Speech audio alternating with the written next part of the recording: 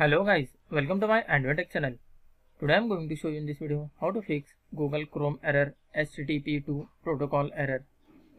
So before going to start the video, if you are not subscribed my channel, please subscribe. So let's start the video. Guys, if you are facing the issue with your Google Chrome and you are seeing the error HTTP 2 protocol error, then I'll show you how to fix this issue. First of all, you need to check whether your date and time is correct or not. Just right click on your date and time, click on adjust date and time your set time automatically is enabled. If it is disabled just enable this option.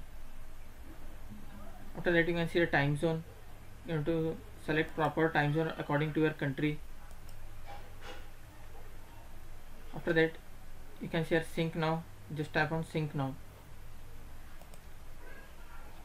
You have to make sure that you are connected to the internet to update automatically time zone. After doing this just close this window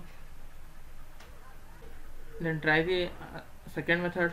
Just you need to open your chrome browser and check whether your extensions are making any problem with your time zone.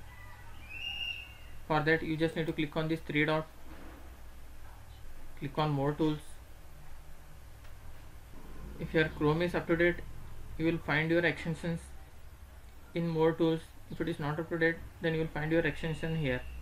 You can see extension just click on manage extensions. If there is any extension installed on your chrome browser you need to disable that browser.